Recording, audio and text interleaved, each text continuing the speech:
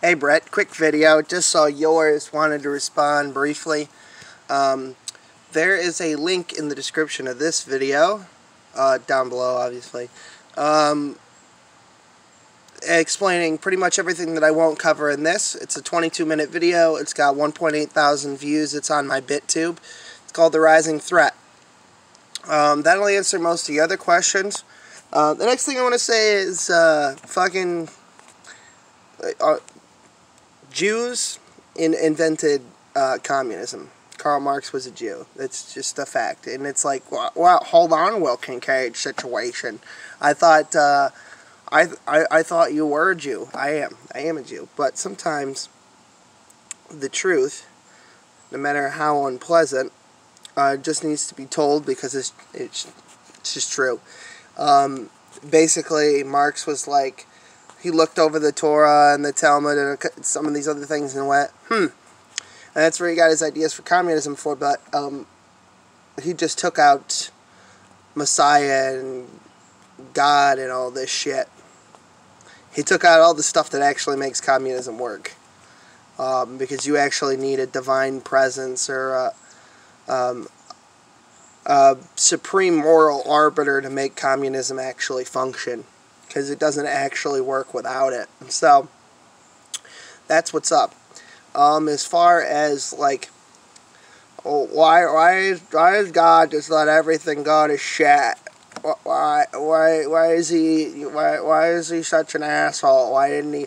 Because God creates us with free will, and we're allowed to do pretty much whatever we want. Um, and God won't interfere on our behalf if we don't keep Torah. That's that's it. The fundamental reality that I believe in, as far as like, uh, what's your what's your theological position? Um, the whole thing with that is that I believe not necessarily in reincarnation, like John does. Um, I believe that this is all kind of a dream. I don't mean dream like Matrix, I mean, like, this is all happening and it's not simultaneously in that um, there's the Godhead, God, who is the dreamer, and we are inside of the dream. And when we die, we are either reconstituted as a new um, artifice of the dream could be anything. Our information our uh, our soul whatever you want to call it is reconstituted somewhere else in the universe using existing matter that's in the universe. Um, and part of our soul in a way returns to the godhead because it's part of the consciousness of god that's where we're at. And I think what happened with the Ark of the Covenant and why you can't look into it is when you look into the Ark of the Covenant, you learn that you are actually in a dream and you learn the truth that, that about it and you there's there's no denying it once you see it because it comes directly from God himself and you zero sum out of existence. Um, that's it, I guess. Um, and I have props today. Fucking carrot top. I don't have red hair, but I do wear orange shirts occasionally. So, well, Kincaid, that's all great and everything, and I'd love to choose Judaism, but bacon just bacon and pork and sausage just taste so good. Alright, listen up. You don't have to eat like a fucking rabbit to enjoy Judaism, alright? Now, technically it's kosher, what I'm about to show you, and technically it's not. Um, I'm inside now, so I'm going to take off these fucking sunglasses. Not some kind of fucking moron. I have here one of my two sandwiches. Alright? I tell you, I usually don't promote this sort of thing. This is not sponsored. I don't have sponsors because everyone hates me. Look at that. Look at that. Everything on this is part of a kosher animal. Watch this. So, we got cheese.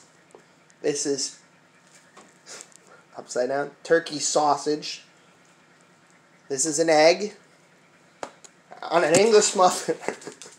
Come, get fucking.